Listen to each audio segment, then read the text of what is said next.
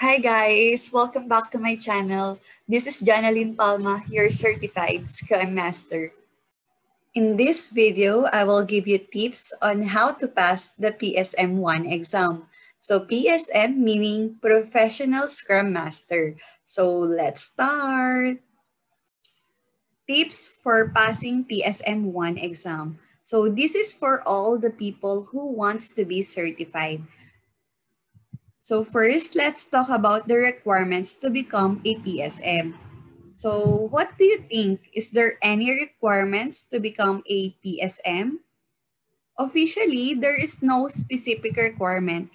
Everyone is a potential candidate to become a professional Scrum Master. So even you are a developer, QA, UI UX, you can change your career and become a certified Scrum Master. So actually, my previous role is a software QA engineer. Then I just shift to a Scrum Master role. So what do you think is the importance of a PSM certificate? So getting a PSM certificate demonstrates the capacity to know, understand, and apply Scrum in real-world situations. So it proves your ability to understand the field and helps in exchanging yourself to your colleagues and top management. So through this certification, you will expand your career opportunities to any organizations that support agile practices. So actually, there's a lot of offer you will receive when you are certified. Always update your LinkedIn account for more job opportunities. And then Scrum.org is the official provider of PSM exam. So I'll just walk through you first to the study materials I use. So when I took the exam last year, Feb 2020, the Scrum Guide I use is still the previous one, the 2017 version. But there is a new version released last year on the month of November. And at the same time, its creator celebrated 25 years of Scrum. So I'll just put the link in the description down below for all the study materials I use. Then, what's inside the Scrum Guide? So, Scrum Guide contains the definition of Scrum. So for 2020 version, it is now only 13 pages. And then the next study material I use is the Scrum Open Assessment. So the assessment consists of 30 questions with a time limit of 30 minutes. And then the third is the Scrum Quizzes by Mikhail Lapshin. So it contains 80 plus questions. And then the fourth one is the Practice Assessment by Simon Kneafsey. So it contains 40 questions, time limit of 30 minutes, and passing score is 85%. Actually, there's a lot of practice assessment you can search in the internet. So each practice exam will teach you a little more. And then, before I discuss the tips for passing the exam, let's talk about first the PSM1 exam. So once you pass the exam, you will earn a downloadable badge and certificate. So as you can see in the right side of the screen, so you can add your badge in email signature and you can link your certificate to your LinkedIn account for more job opportunities. So how much is the fee for one attempt of PSM1 assessment?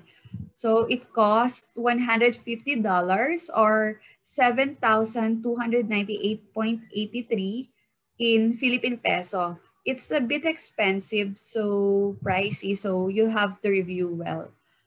So what language used in PSM1 exam? So please note that all Scrum.org assessments are in the English language only. So no other language available. And then the time limit is 60 minutes and number of questions is 80. So meaning you have to answer the question in less than a minute. And then the passing score is 85%, meaning you must have at least 68 correct answers to pass the exam. So it's a bit difficult to pass. So you really have to prepare for the exam. So on the next slide, I will give you tips on how to pass the exam. So tips for passing professional Scrum Master exam. I think 15 to 30 days preparation for the exam is already enough. So first is you have to read the Scrum guide few times. So five times ideally or until you understand well enough. So in my experience, I read the Scrum guide every day until the day I took the exam. And then next is watch videos on about Scrum. You can check my playlist, Scrum 101, from lesson 1 to lesson 4 to give you good understanding if you don't have much experience. So in my videos, I cite example for each topic. And then next, take the open assessments available at scrum.org until you get 100% scores in all of the tests. So you have to try and try until you score 100% consistently. And then take also the product owner open assessment for you to prepare resolve complex questions that might come up during the exam.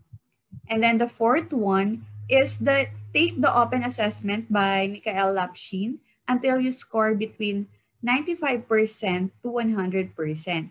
So it's really a good questions and really good help because it's completely free.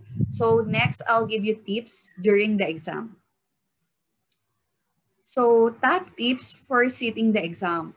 So first, you need to have a stable internet connection. So the exam is on online, so make sure that you have a stable internet connection. Then next is choose a peaceful time slot the more relaxed you are with the least amount of distractions will result in better exam scores. So find the best time for yourself. And then next is read questions carefully because many multiple choice questions seem similar when you read them too quickly.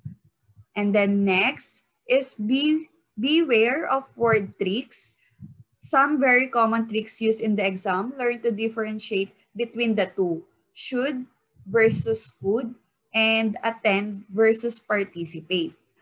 Then next is use a timer when doing your practice exams. So this will ensure you are able to answer all the questions within the limited amount of time. And then next, mark the confusing question. So if the question is really hard, uh, skip the question and to save time and energy and attempt them later on. Then next is decide on one reliable resource for help.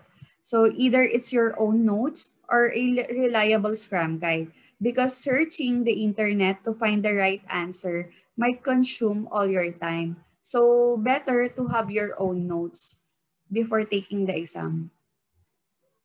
So that's all for this video. Thank you. I hope that by following these tips, help you to pass the exam. And do not beat yourself up if you need more than one attempt to pass the exam. So, bye. Good luck on your exam. Don't forget to pray before taking the exam. God bless. Shout out to my currently handled team. Team Dito, hello. If you have any questions or topic you want me to discuss, just comment down below. Thank you for watching. Hope to see you on my next video. Bye!